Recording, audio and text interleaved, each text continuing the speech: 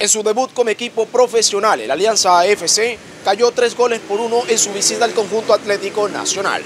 Es un sentimiento de frustración, pero también somos conscientes que estamos enfrentando a Atlético Nacional. Entonces, eh, casi que para sacar un buen resultado hay que hacer un partido perfecto. Hicimos muchísimas cosas buenas, eh, más en el primer tiempo que en el segundo. El segundo nos sometieron, nosotros recuperamos la pelota y teníamos líneas de pases para, para salir, para volver a jugar, para tener la pelota y controlar el partido y erramos, erramos muchos pases y, y nos equivocamos. Yo creo que ante rivales como este no hay que estar concentrado siempre, todo el partido, porque tiene jugadores de calidad. En los tres goles que recibieron se tuvieron errores puntuales que harán para mejorar esas falencias y para el jugador.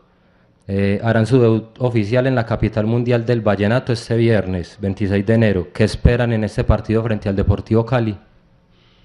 Sí, son, el fútbol es eso, aciertos, errores y, y bueno, y en dos jugadas puntuales, incluso los jugadores de Nacional iban hacia afuera, no iban en dirección de nuestro arco y quizás se toman decisiones apresuradas en algún momento y no, lo que ahorita hay que llenar es de confianza al equipo. Vuelvo, insisto, tomar todo lo bueno que se hizo, corregir y poner nuestra cabecita ya pensando en el Deportivo Cali el día viernes en condición de local, que será nuestro estreno.